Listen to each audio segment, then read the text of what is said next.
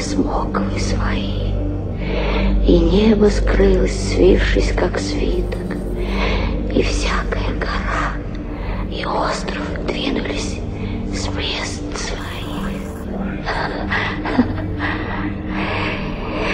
И цари земные, и вельможи, и богатые, и тысяченачальники, и сильные, и всякие свободные скрылись в пещеры и в ущелье гор, и говорят горам и камням, «Падите на нас, и скройте нас от лица сидящего на престоле и от гнева Агнца, ибо пришел великий день гнева его, и кто сможет устоять?»